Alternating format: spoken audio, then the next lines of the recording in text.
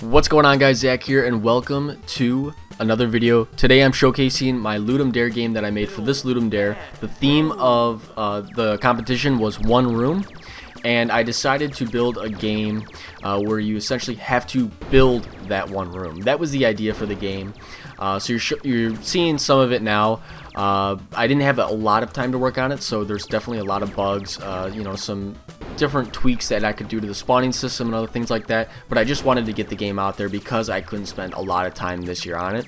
Uh, but I was streaming the entire time, uh, or most of the time. Uh, there was a lot of people in there. We were having some fun, and uh, I hope to have you in there next uh, Ludum Dare because uh, this was really fun for me to make. Um, so here you're seeing some gameplay now. I was using fraps and it kept cutting out for some reason, so it's kind of choppy uh, and you don't really get the full experience. But there is a link in the description for this uh, game. Uh, it's for the Ludum Dare uh, project. So uh, you can go ahead and check out the source code for it as well. I didn't make it very neat because of the fact that it's a Ludum Dare game.